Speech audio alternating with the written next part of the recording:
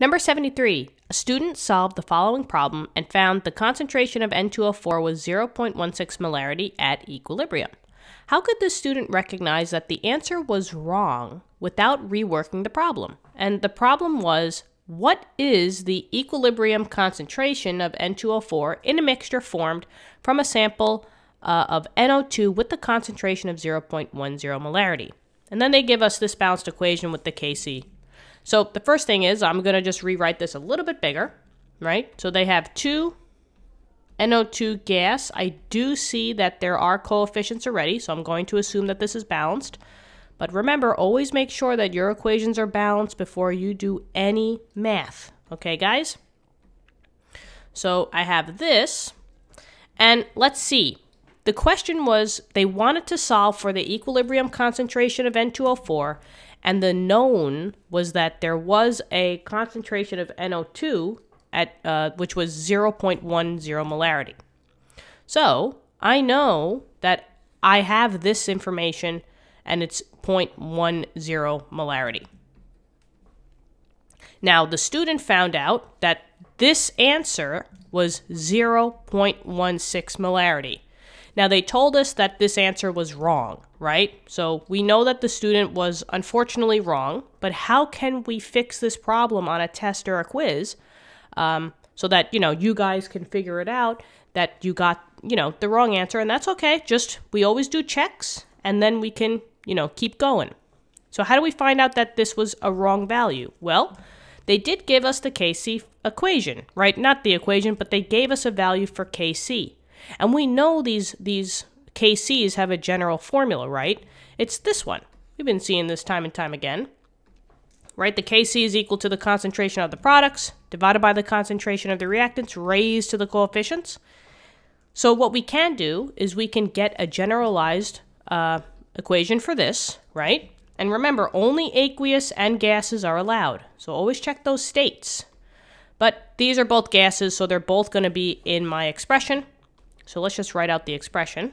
Kc equal to the concentration of the products. I have one product, N2O4. And it has to be raised to the coefficient. There was no number here. Remember, that means that there was one of them. So I could raise it to the first, but I don't have to. And then divided by uh, the concentration of NO2 and then I have to raise it to the coefficient. In, the, in this case, I do see a 2, so I have to square it. Now, here we go. We're going to do a check, right? Because I'm sure that the student had to, you know, work out this formula first in order to find out what this number was. So what you're going to do is you're going to use the same formula and you're just going to plug in the known number with the answer that you got to see what Kc value you get. So we're going to plug in the 0.16 molarity, and we're going to plug in the known and see what we get. So in this case, Kc equals the 0.16, close that up, and then this is going to be the 0.10, and that's squared, right? We could probably do this in one step.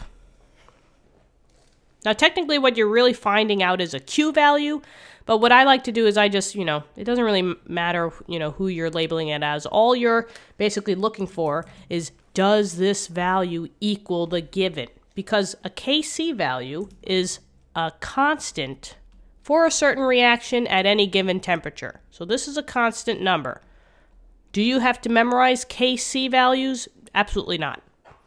Um, but it's basically used as a marker to see if you did the question right. So let's see. I'm going to now just check my answer.